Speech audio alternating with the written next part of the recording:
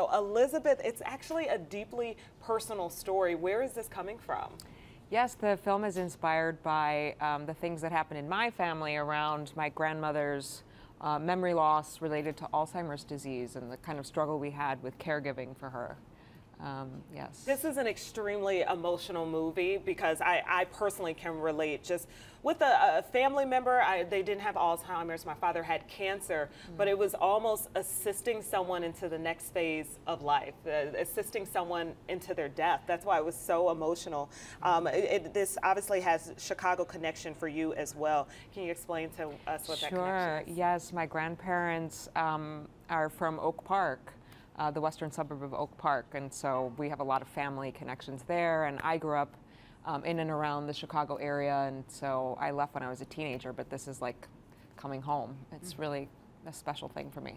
And Robert, you actually play the husband in the film who yep. just cannot let his wife go. I think something that it just, it, the love just oozes off of the screen. And going through that difficult moment, is there something that I guess you experience going through that film or even through life that you'd be able to share um, well, um, with people trying to do this with kids and family and trying to uh, get through a disease? Uh, I am proud to say that I'm a father over 200 years, if you count up the ages of my children.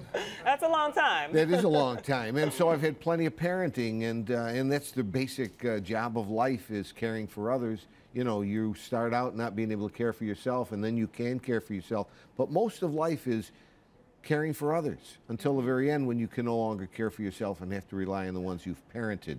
You better do a good job, Bob. Yeah. So, uh, and, uh, and yes, we've all cared for people who, uh, who are, my dad, uh, when he was uh, almost 81 and, uh, and, and failing, I cared for him after Jackie Brown I made the picture. He came out once, spent one night on the set, he went uh, back on a plane. I wasn't sure I was ever going to see him again. I wow. jumped, as soon as we finished the picture, I ran to Rochester, and for the final 36 days, I cared for him and never regret it. Anybody who is uh, able to care for their folks, never will they regret having done so. Yeah, so it's you're ushering someone into death it can it certainly be a hard moment.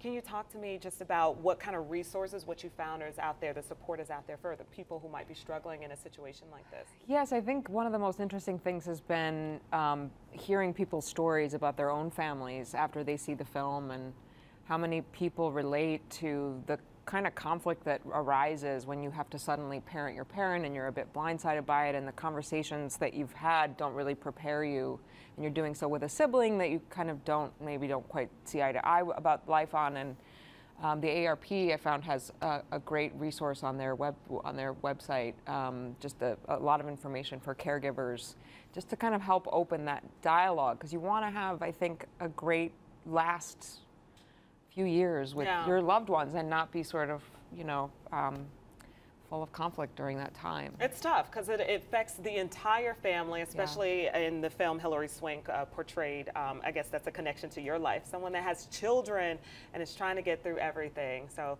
certainly an emotional story. Thank you so much for sharing it. Thank what you. They Had opens in theaters on October 26th, and you can go to alz.org slash Illinois for more info on Alzheimer's symptoms and resources. They have support that is available.